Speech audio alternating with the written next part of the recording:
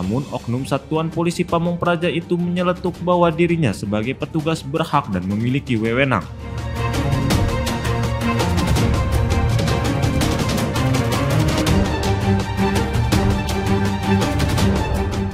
Jagat media sosial kembali dihebohkan dengan sikap arogan oknum petugas satuan polisi Pamong Praja dengan pemilik warung kopi. Video tersebut viral di media sosial dan dibagikan sejumlah akun Instagram salah satunya @cetul.22. Dalam video tersebut menampakkan aksi cekcok antara oknum Satpol PP dengan pasangan suami istri diduga lantaran permasalahan izin buka kafe. Dari video yang beredar, narasinya dalam postingan itu menyebutkan aksi anarkis Satuan Polisi Pamong Praja saat razia PPKM di Kabupaten Goa, Sulawesi Selatan terjadi pada Rabu 14 Juli 2021. Dalam video itu, Pasutri mengatakan sudah izin dengan kepala desa. Namun, oknum Satuan Polisi Pamong Praja itu menyeletuk bahwa dirinya sebagai petugas berhak dan memiliki wewenang. Satpol PP itu langsung mengancam akan menutup kafe itu jika tidak ada pengunjung yang datang. Lalu tiba-tiba Satpol PP itu membentak padahal Pak Sutri tersebut berkali-kali menjelaskan sudah izin ke kantor desa untuk buka. Namun Satpol PP langsung memukul pria itu karena terlihat merekam. Semakin beringas, oknum tersebut memukul seorang wanita yang tengah hamil.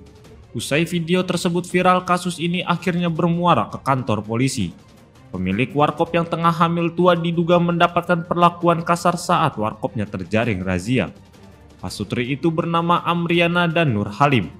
Dilansir dari tribunsolo.com Kanit Reskrim Polsek Bajeng Ibda Arianto mengatakan pihaknya telah menerima laporan dari pemilik kafe terkait dugaan penganiayaan adanya tindakan oknum petugas PPKM.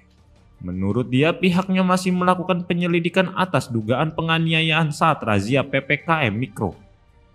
Saat menjalani pemeriksaan di SPKT, Amriana yang sementara hamil tiba-tiba pingsan diduga karena masih sok. Hingga Kamis 15 Juli 2021 pagi, kata kunci Satpol PP masuk daftar trending Twitter tanah air. Caci maki netizen ditunjukkan kepada aparat Satpol PP Kabupaten Goa yang memukul wanita hamil.